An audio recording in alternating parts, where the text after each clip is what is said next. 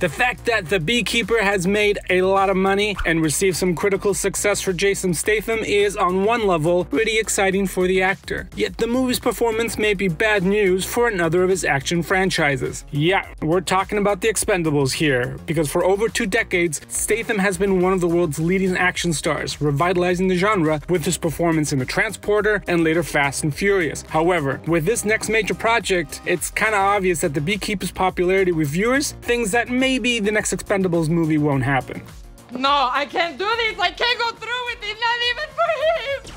In The Beekeeper, Statham plays the enigmatic Adam Clay, a beekeeper and master hitman who embarks on a twisted revenge mission involving politics, financial fraud, and a secret network of underground operatives, also bees. It has become Statham's best reviewed movie since 2015, a major milestone considering the huge franchises the actor has been involved in. And these positives could ultimately be bad news for the fans of another Statham project, you know, the one we just talked about.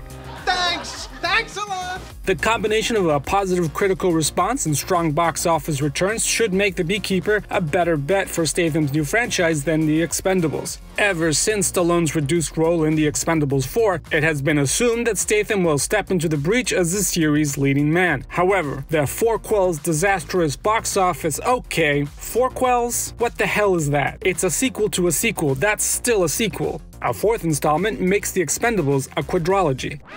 Okay, it did poorly at the box office and with audiences. Moving on.